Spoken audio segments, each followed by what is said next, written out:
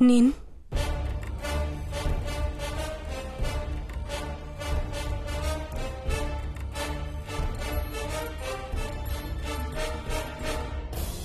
যদি এরকম অপমান মুঘল সাম্রাজ্যের পতাকাকে করা হতো,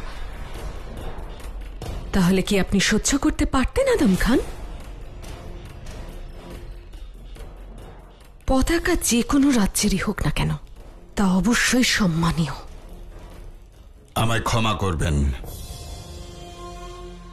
কিন্তু এরা মোঘল সাম্রাজ্যের চোখে অপরাধী। ওদের শাস্তি অবশ্যই পেতে হবে। আপনি কি ওনাদের হাতে কোনো অস্ত্রশস্ত্র দেখেছেন? নাকি ওনাদের কোনো কলা কৌশলের মাধ্যমে মুঘল সাম্রাজ্যের বিরুদ্ধে কোনো রকম ষড়যন্ত্র করেছেন? হয়তো আপনি জানেন না মোঘল সাম্রাজ্যে অন্য কারও পতাকা বহন করা অপরাধের মধ্যে পড়ে। আর আপনি বোধহয় এটা জানেন না যে শিল্পীদের কোনো সীমা হয় না। আর মাতৃভূমিকে ভালোবাসা অপরাধ হতে পারে না। আর যদি অপরাধ হয় তাহলে শাস্তি আপনারও পাওয়া উচিত আর আমারও। কারণ আমি আর আপনিও মাতৃভূমিকে ভালোবাসি। আর আপনাকে যোধা বেগম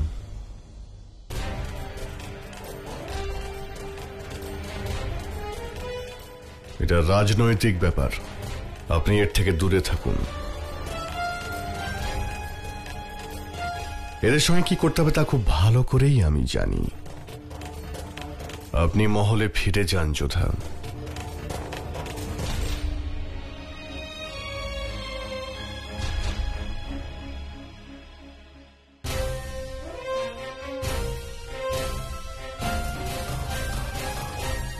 নিজেদের নির্দোষ প্রমাণ করার কোনো উত্তর আছে তোমাদের কাছে? তোমরা কারা? কোথা থেকে এসেছ? আমরা সেখান থেকে এসেছি, সহিংসা, যেখানে আপনার শ্বশুর বাড়ি। রাজকুমারী যোধার বাপের বাড়ি। আমরা আমের থেকে এসেছি, সহিংসা। আমরা আশেপাশের গ্রামে ঘুরে ঘুরে কদিন সেখানেই থাকি, খেলা দেখাই। কদিন মানুষের মনোরঞ্জন করে সেখান থেকে চলে যাই। আজ পর্যন্ত কেউ আমাদের কোথাও এভাবে আটকায়নি। কিন্তু আজ ইনি আমাদের কাছে এই পতাকা দেখে আমাদেরকে মারতে মারতে আমাদের বন্দি করেছেন। কিন্তু আমার প্রশ্নের উত্তর এখনও পেলাম না এই পতাকা তোমাদের কাছে কি করে এলো? এই এই পতাকা তো নাচের সময় আমাদের কাজে লাগে। যেভাবে আমরা তলোয়ার নিয়ে নাচি গান করি মাথায় আগুন নিয়ে নাচি সেভাবেই। পতাকা নিয়েও নাচি। একজন শিল্পী এসব ব্যবহার করে।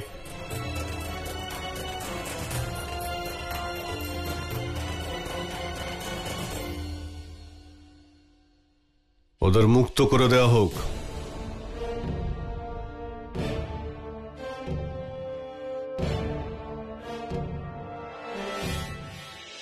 আমেরের রাজা ভারমল উনি এখন আমার অতিথি। ওনার সম্মানার্থে আজ এক অনুষ্ঠানের আয়োজন করেছি।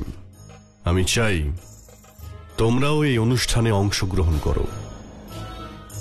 তোমাদের রাজা তোমাদের দেখে নিশ্চয়ই খুবই খুশি হবেন। অনেক ধন্যবাদ সহিংসা। যেমনটা আপনার আদেশ।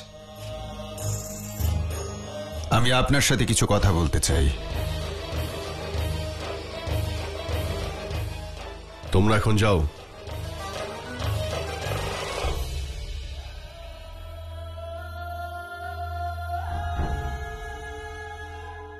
যখনই আমি কোনো অপরাধীকে ধরি, আপনি তাকে মুক্ত করে দেন। আদম, যেদিন তুমি আসল কোনো অপরাধীকে আমার সামনে ধরে আনবে, সেদিন তাকে শাস্তি দেবই। তোমাকে আমি একটা কাজ দিতে চাই। জানতে পেরেছি মথুরাতে কেউ আমাদের বিরুদ্ধে বিদ্রোহ করছে তুমি খোঁজ নিয়ে দেখো যে সে কে। যে আমাদের ঐতিহ্যকে নষ্ট করতে চাইছে। অবশ্যই। আমি ওখানে গিয়ে ওকে ধরব আর ওকে কঠিন শাস্তি দেব। আমি তোমাকে ধরতে বলেছি। শাস্তি দেওয়ার দায়িত্ব শুধু আমার।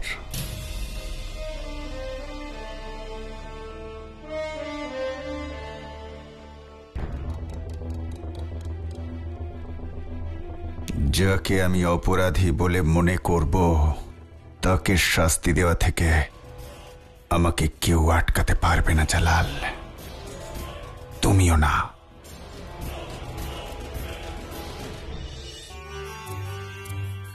মা তুমি এসব কি করছ? করব না তো কি? আজকে অনুষ্ঠান তোমাকে সাজাতে হবে না? এসো। তাড়াতাড়ি বসো এখানে। নিয়ে এসো ওগুলো তাড়াতাড়ি। মা তুমি ছেড়ে দাও না।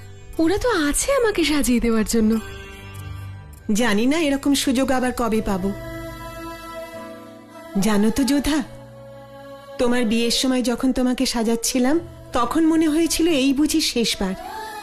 আবার কবে এই মুখটাকে দেখতে পাবো, তখন জানতাম না। আর আজকে মন প্রাণ দিয়ে তোমাকে সাজাবো আমি।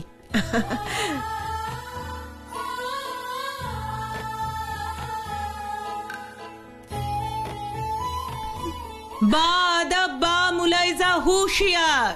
মালিকায়ে আলম মারিয়াম মাক্কানি বেগম প্রবেশ করছেন।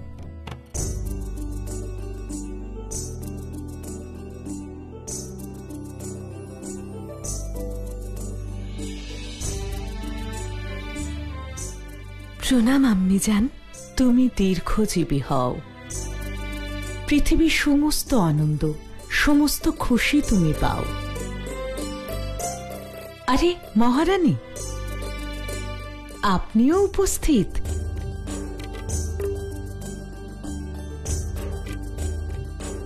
নমস্কার। আসলে আজকে উৎসব তো তাই মা আমাকে সাজিয়ে দিচ্ছিলেন। না যোধা। তোমার মা এখন এই অধিকার হারিয়েছেন।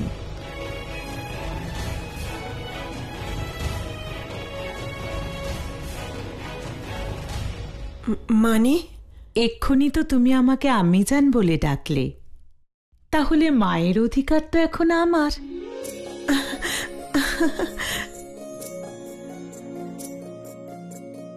তাই জন্য আমি নিজের হাতে আমার মেয়েকে সাজাবো।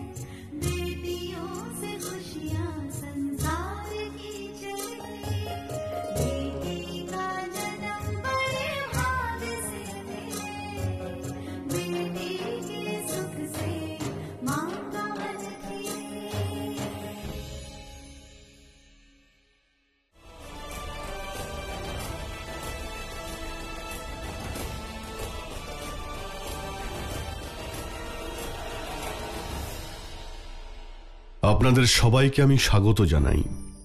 আসন গ্রহণ করুন।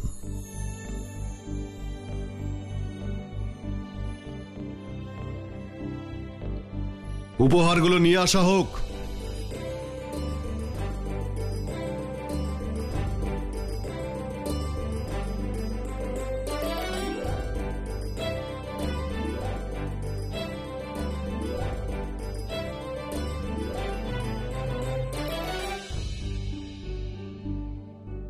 অনুষ্ঠান আরম্ভ করা হোক।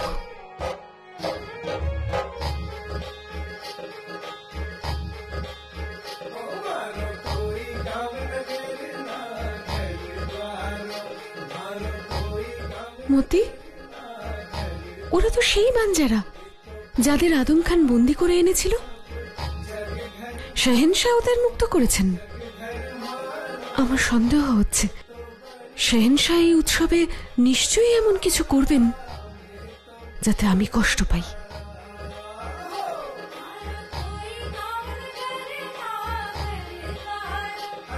Come on.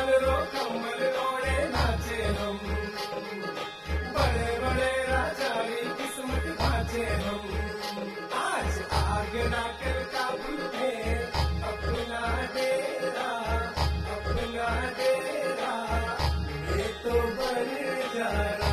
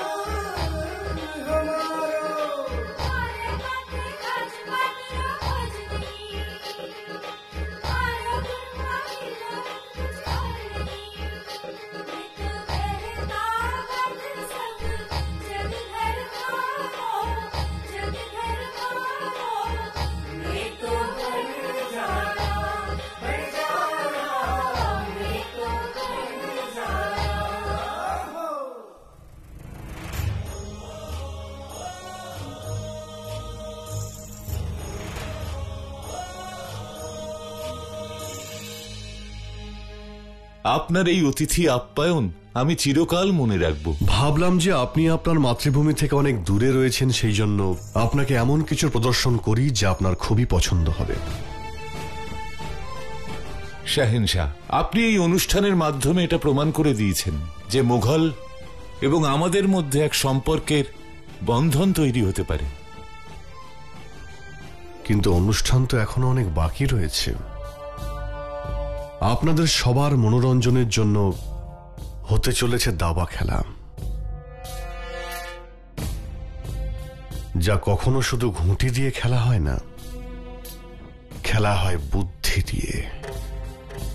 আমার জীবন নিয়ে আপনি খেলা শুরু করেছেন। এর মধ্যে আমার মাতা পিতাকেও সামিল করলেন। আজকের খেলা এক বিশেষ খেলা কারণ এই খেলায় আজকে যে জিতবে তাকে শাহেনশাহ এক প্রতিশ্রুতি দেবে। আর সেই প্রতিশ্রুতি হল যে, এই খেলাটা জিতবে সে যে কোনো সময়, যে কোনো কিছু আমার কাছে চাইতে পারবে। সে আমার কাছে যা চাইবে আমি তাকে তা দেব।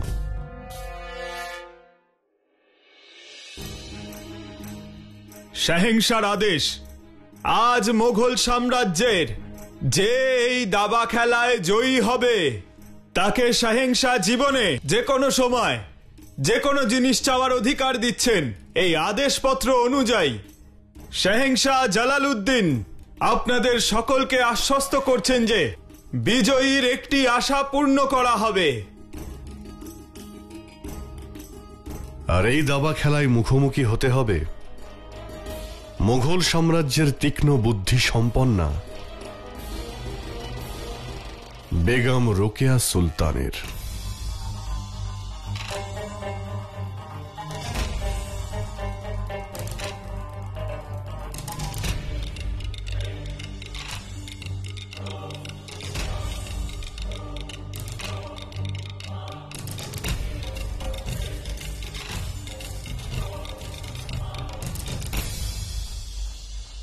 আমাকে এত সম্মান দেওয়ার জন্য ধন্যবাদ জাহাপনা। যদি আপনি অনুমতি দেন তাহলে আমি নিজেই আমার প্রতিপক্ষকে নির্বাচন করতে চাই। অবশ্যই। এতে আপনার সম্পূর্ণ অধিকার রয়েছে। রাজা ভারমাল ওনাদের আর আমাদের সংস্কৃতির মিলনের কথা বলেছিলেন।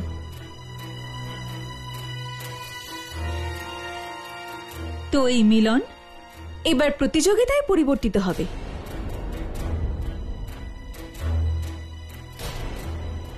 আমি এই খেলা? বেগম যোধার সাথে খেলতে চাই।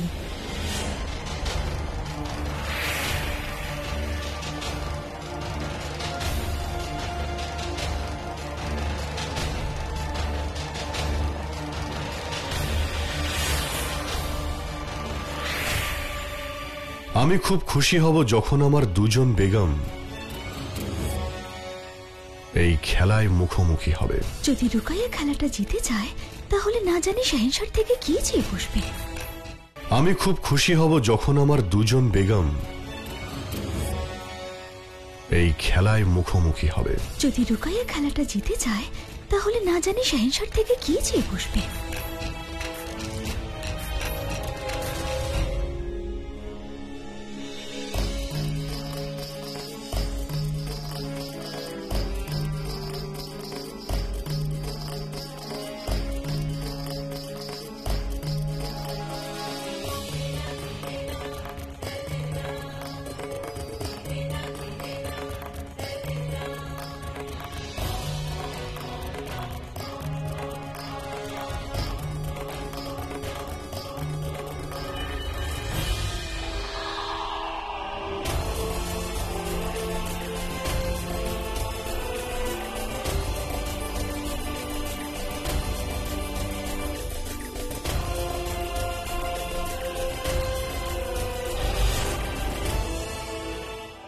বলুন যোধা বেগম। আপনি কি আমার সাথে এই বাজি খেলতে চান? নাকি বিনা প্রতিদ্বন্দ্বিতায় পরাজয় স্বীকার করবেন? আমাদের আমেনে তো লড়াই না করে মৃত্যুর কাছেও হার স্বীকার করা হয় না। সে যুদ্ধের আমন্ত্রণই হোক বা দাবা খেলার, আমরা কখনোই পিছু হটি না।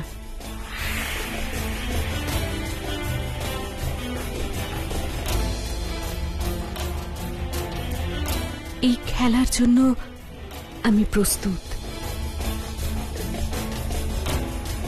মালিকায়ে খাস বেগম রোকেয়া আর বেগম যোধার মধ্যে দাবা খেলার প্রতিযোগিতা শুরু হচ্ছে। আপনি আমার থেকে ছোট। তাই প্রথম চাল আপনিই চালুন। খেলায় বয়স বা পদ নয়। চালটাই আসল রোকেয়া বেগম। তাও যদি আপনি চান যে প্রথম চালটা আমি চালি তাহলে ঠিক আছে।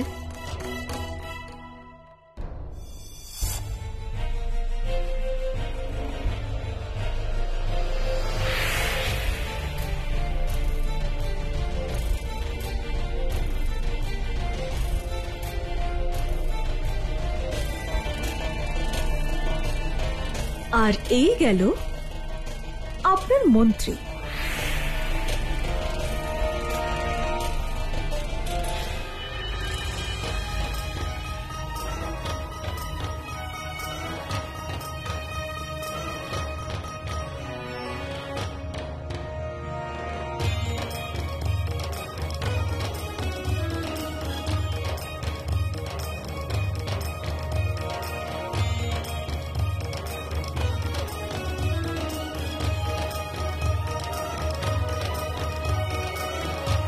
আর এবার শহীদ হলো আপনার উট।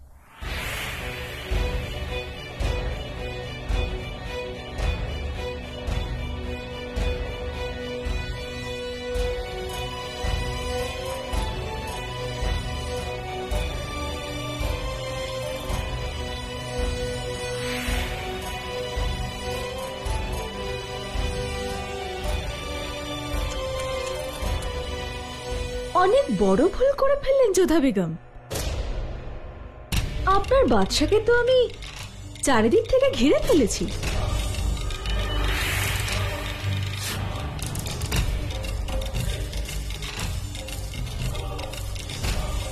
ধরা পড়ে গেছে আপনার শাহেনশাহ।